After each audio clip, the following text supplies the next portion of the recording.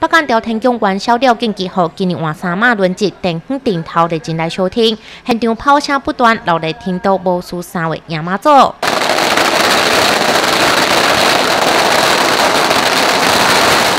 轮到三马了，紧机后金城风桥帮会也特别准备三轮车，由调天宫当组长以及镇长议员做会在中北随乡，现场气氛热烈滚滚。我们今年准备六台的那个随乡的专车，啊，要让诚心的那个随乡的老者，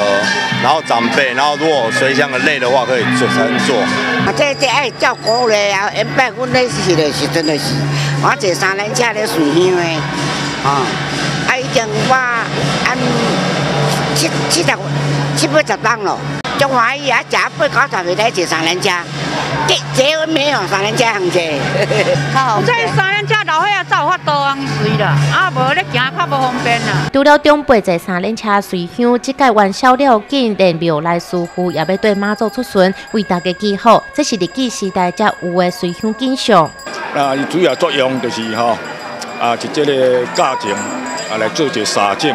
来驱邪在。主要在作作用。那么因为自阮细汉迄阵也有安尼，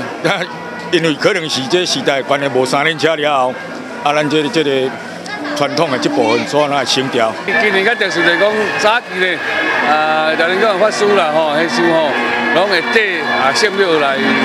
出巡吼。啊，已经吼长几啊十年了吼，啊，这个宗教传统文化吼，阮希望吼，啊，搁再甲延续落吼，啊，所以今年呢，啊，咱这法师啦吼，啊，现在脚踏车吼，